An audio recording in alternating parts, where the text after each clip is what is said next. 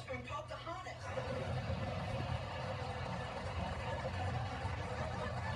Roseanne, what is all this? It's a gay wedding! This isn't a wedding, it's a circus! You have somehow managed to take every gay